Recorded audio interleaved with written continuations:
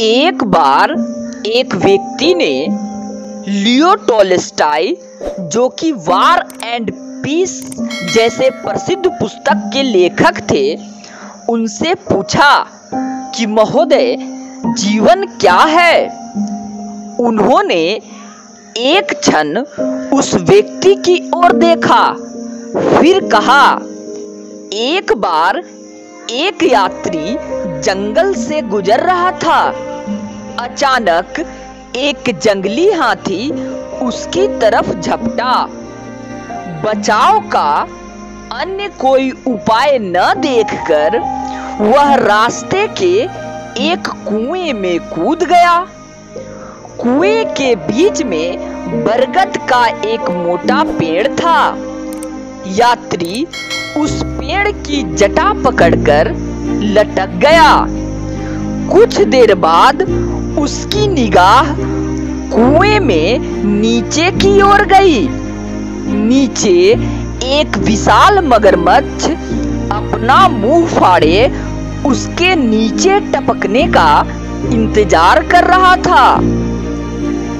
डर के मारे उसने अपनी निगाह ऊपर कर ली। ऊपर उसने देखा कि शहद के एक छत्ते से बूंद बूंद मधु टपक रहा था। स्वाद के सामने वह भय को भूल गया। उसने टपकते हुए मधु की ओर बढ़कर अपना मुँह खोल दिया और तल्लीन होकर बूंद बूंद मधु पीने लगा।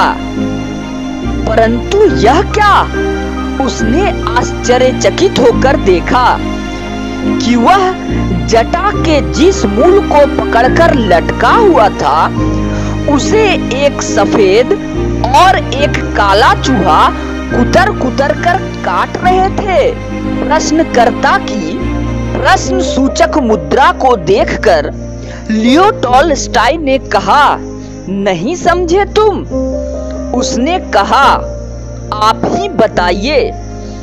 तब वे समझाते हुए उससे बोले, वह हाथी, काल था, मगरमच्छ मृत्यु थी, मधु जीवन का रस था, और काला तथा सफ़ेद चूहा रात व दिन, इन सब का सम्मिलित नाम ही जीवन है।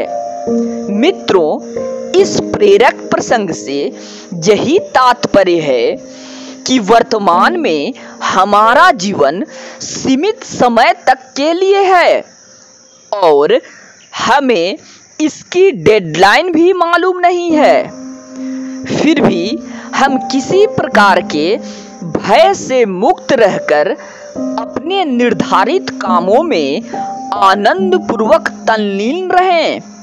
इसी का नाम जीवन है, जो मधुरस से परिपूर्ण है। याद रखें, हर एक के जीवन में सुख और दुख दोनों आते हैं। जैसे कि समुद्र में ज्वार भाटा, हमें चाहिए कि इन दोनों को एक संभाव में लेते हुए समय का आदर करें। यानी इसका एक क्षण भी व्यर्थ न जाने दें।